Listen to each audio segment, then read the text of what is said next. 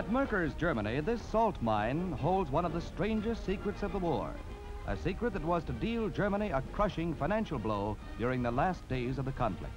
Here, GIs uncovered a fabulous hoard of jewelry, silver, currency, bullion, and art treasures. Much of it the accumulated loot of five years of war.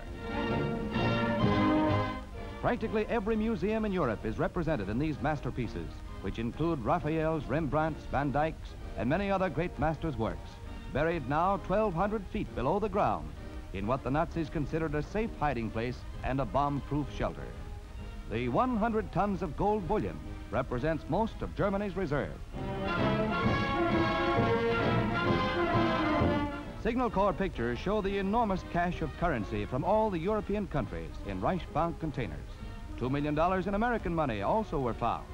Allied officials will take charge of the treasure until its disposition has been decided. Murder will out, even from the depths of the earth.